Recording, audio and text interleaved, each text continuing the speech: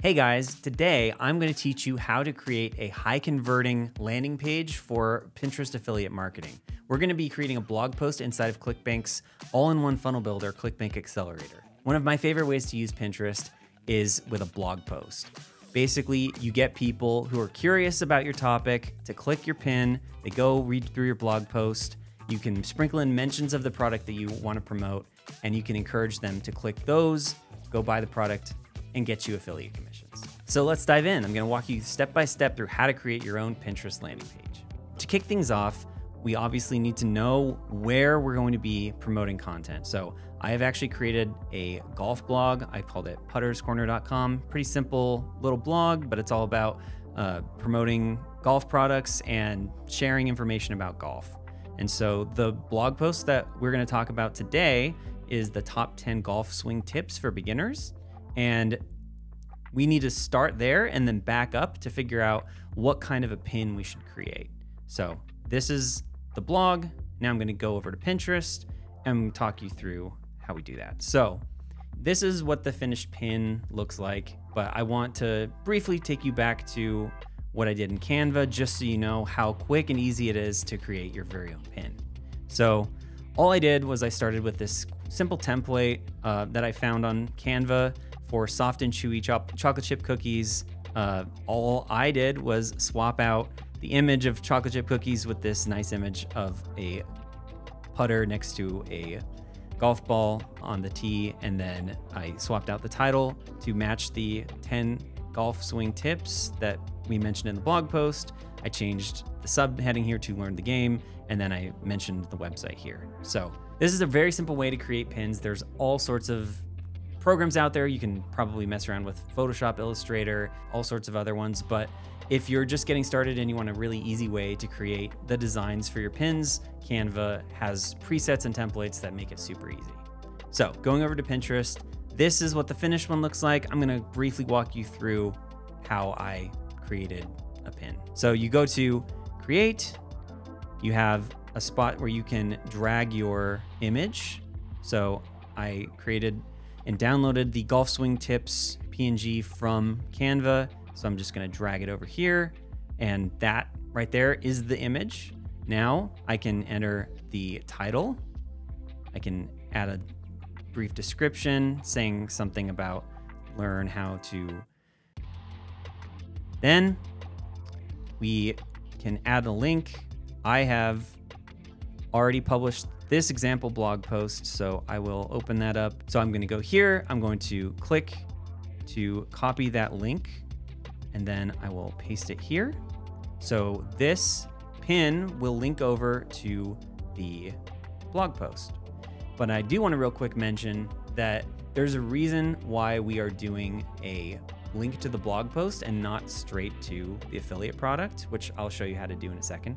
The idea here is yes, technically you can add a direct affiliate link on Pinterest to a product sales page, but you're not really giving any opportunity for people to warm up. Like imagine you're scrolling Pinterest, you're searching for tags or you're just like following things and you're seeing pins and you see something interesting like this, you know, here here's some golf swing tips and you think, "Oh, that's kind of interesting." And imagine you go straight to a sales page where they're going to sell you something that's just not a great user experience. You haven't had any context about it, and suddenly you're getting sold, and it just doesn't feel like something that would really be a good feeling. It doesn't feel like it would be beneficial for you.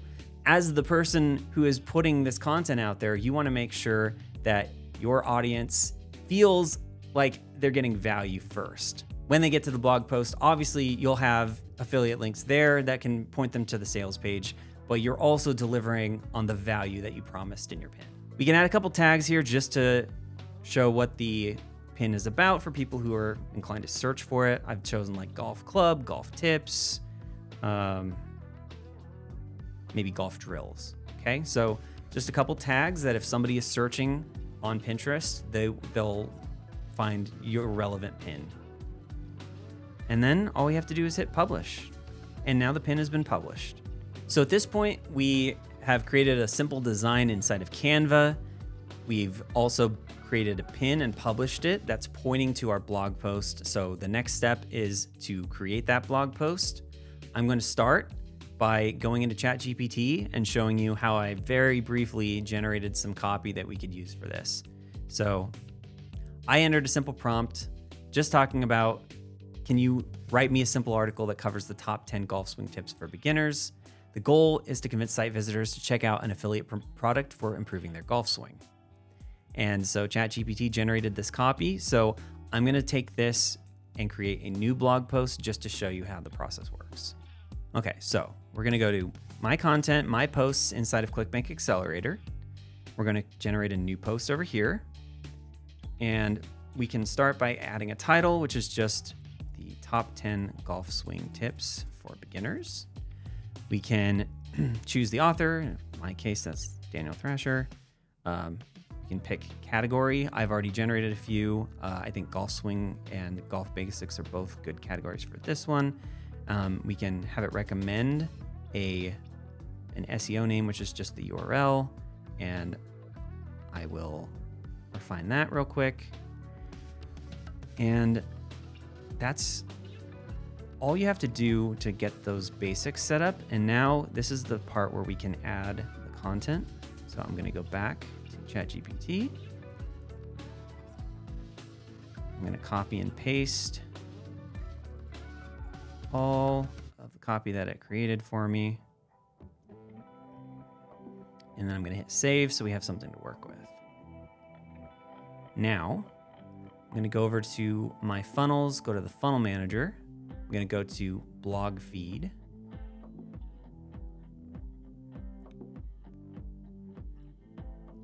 And you can see this new post that I just published uh, that still needs a bit of work. So I can grab a new image real quick, search for golf.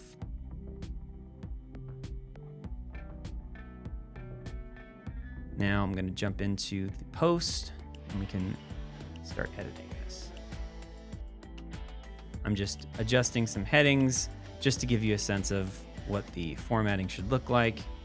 This is super quick and basic stuff that you can do inside of ClickBank Accelerator.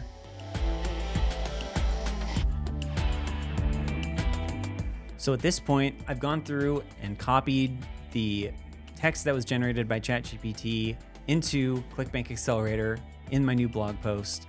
And now we're ready to talk about how you add your affiliate links. One thing I want to mention obviously, ChatGPT, the way that I just used it, probably isn't enough to create a really high quality blog post. There's more that you could do for on page optimization, for just adding content quality. But for the purposes of this video, I just wanted to be able to show you something really quick. So we have a pin, we have a blog post. Now we want to talk about how you monetize this. I should mention that from the very beginning, I had a specific ClickBank product in mind. If you're not familiar, ClickBank is an affiliate marketplace with thousands of products that you can go promote. And they're proven high converting offers that other people have already done the hard work of creating for you. Now, all you have to do is add your affiliate links and you can start getting commissions. Hopping into the marketplace, I'm going to search for golf. Um, and this was a product that I was already thinking about using to monetize this particular blog post. Since the post is about golf swing tips, I figured why not promote a golf swing product that can take their golf game to the next level. So I'm actually going to go to their affiliate tools page. Um, this is a place where they provide resources. Most quality vendors and, and product owners on ClickBank have a support page for affiliates where they give you the resources that you need in order to promote the products. And so rather than having to do this all from scratch, I'm going to actually borrow some of theirs. Here I am inside of the affiliate center for that product. I'm going to go to tools and resources for promotions. Going to go to the stress free golf swings affiliate resources. So, right off the bat, inside their tools page, you can see that they provided an affiliate link that's specific to my ClickBank nickname um, for that specific product since they have so many different golf products. And it's good to know that they have different golf products because down the road, for different blog posts and different things, you might want to choose different ones. But obviously, in this case, I'm going to grab this one. So I have this affiliate link that I can add to the blog post. One way to do that is I also at the top of the blog post have this mention of we'll introduce you to an amazing product that can accelerate your progress. So I'm going to just put this link in right here. So you go to Command K or insert link, and then I can paste the link that I just did. And just like that, I have added an affiliate link to this blog post for that specific ClickBank product. Basically, the way that works is someone comes to your article, whether that's from Google or from Pinterest through your pin, and they are reading the blog post and they see that you are talking about this amazing product and they click, they go to that sales page, and you know, maybe they'll buy it. And we have now landed on the sales page for this golf product. This is a text sales letter, which is a perfect way to transition from a blog post. Thinking about the customer journey, someone sees a pin on Pinterest about golf tips. They click and they go to a blog post with text that is describing tips for a golf swing. They see a link that is interesting to them and they click that one and it takes them to the sales page that's also text. So it's very consistent. It's a it's a seamless user experience. And now, uh, if they are convinced from the sales page and all the testimonials on the page, then when they get to the bottom, they can click on this button that says put this one secret move to the test now with their 60 day no risk trial. And you can see on the order form, they can click the pay now button and get the product. And you get, as the affiliate, you get 75% of whatever the total order is here. And they also have some order bumps that can add to that sales total. So that's just a quick look at what that would look like from the user's perspective. So, real quick, I just want to touch on a couple different things about calls to action inside of blog posts.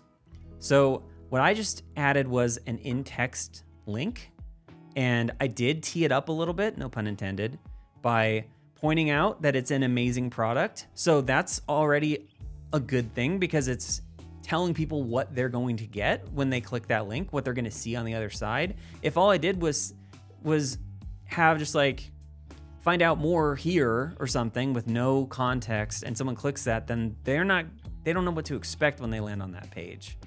So that is an, an important thing. You could go a step further, um, and I actually recommend it. Um, you can see we have tips that fulfill the promise of the title here the 10 golf swing tips. Things like establishing a solid stance or keeping your eye on the ball. Um, I would say one of these tips, instead of it being, you know, practice or, you know, change your stance or power through uh, the downswing, any of that stuff, I would say something like get help from the pros and add some context like perfecting your golf swing on your own can be a huge challenge. Why not get a little help and again, we can add the affiliate link here. And those are both text links that we can use to encourage people to make a purchase. Now, what I liked about this approach of adding a tip that's specific to promoting is you're really giving people context when they're reading the article about what they're about to do. I think a lot of the mistakes that beginner affiliates make on blog content or other kinds of free traffic content is they either don't promote the product at all or they go really hard in promoting the product. They're just like, they're not th- focusing on adding any value or adding a lot of like tips and information that's useful to people. They're just like, come on, buy now, buy now. Or on the other hand, they're they kind of sneak it in. They're just like, oh, I'm giving you value, but what if you click this link with no context about it? Neither of those is a good approach. There needs to be something in the middle where you are relating the product back to the content that you're talking about. It's relevant to the title, it's relevant to what the person came to the page for. And you're, you know, you're you're selling it a little bit. You're giving it some level of promotion, but it's not you know, all or nothing. So, I recommend that for those links. And now I want to show you one other quick thing that you might do um, to promote the product. So if we go back to the affiliate center here, we can go to a tab for banners and you can see a wide static banner or a square static banner. Um, this one would be perfect for something in the sidebar. Um, I like these wider ones for use inside of the main blog content. Now we can copy this right here and paste it. We can also right click here and download it and then add our affiliate link, the one that we've already copied. Um, I'm just gonna go ahead and do that so I can show you what the process of adding an image looks like. So I've, I've downloaded this static banner. We're gonna go back here and I feel like, you know what, why don't we add an image right about here, right after the intro and before the meat of the content. So I just downloaded this and add our affiliate link here. So that's that is my image. I've added the affiliate link and showed up a little small, so I'm just gonna drag that out to make sure that it fills the body of the blog post. And now you can see that we have this introduction, we have a text link to the product that we want to promote, and we also have this banner that links out to the affiliate product. So there's multiple ways we can do it. And then, you know, I also recommend that you have one at the end um, another way that you might promote a product is with a button. So let's go ahead and do that real quick. And I'm going to click insert button. We have a button here. Uh, so I'm going to click that. I have created a new button. I called the CTA try this secret move and I've added the affiliate link. And so that's one other way that you can include an affiliate link in your content. So to review, we have some in-text mentions, we have a static banner, we also have a button. And so those are simple ways that you can add affiliate links to your blog post while still mostly focusing on delivering value through the content that you created. I hope you can see it's pretty simple. You can create a pin and publish it make sure that it has tags and that you're building a following and making sure that all of your pins are optimized. But you create a pin that provides that sense of like intrigue or curiosity to encourage people to click through. They land on your blog post, and then there are a couple different ways that you can add affiliate links on that page to encourage people to learn more about the topic and also learn more about the product that you want to. So now you should know how to publish your own pins on Pinterest, how to create blog content and publish that content inside of ClickBank Accelerator, and you know how to grab an affiliate link from inside of ClickBank and add that those links to your blog post to monetize it. Now you have everything you need to know to generate sales with Pinterest affiliate marketing. Once again, I used ClickBank Accelerator for this video.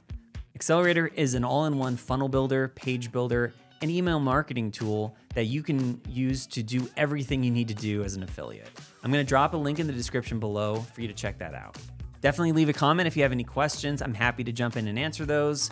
Uh, like it if this video is helpful for you. Subscribe so you can check out more content like this in the future, and I'll catch you next time.